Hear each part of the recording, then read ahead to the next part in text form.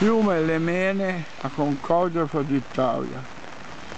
Vent'anni fa feci, anzi mia figlia di otto anni fece 40 due sui due etti e mezzo l'uno in un'ora e mezzo